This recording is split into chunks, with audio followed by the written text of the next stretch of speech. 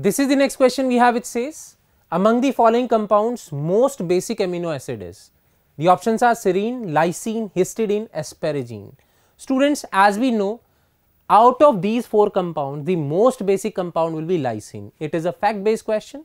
The basic character depends on the plus R plus I as well as the availability of lone pair on nitrogen atom in case of amino acid. So, out of these options the correct answer will be option 2.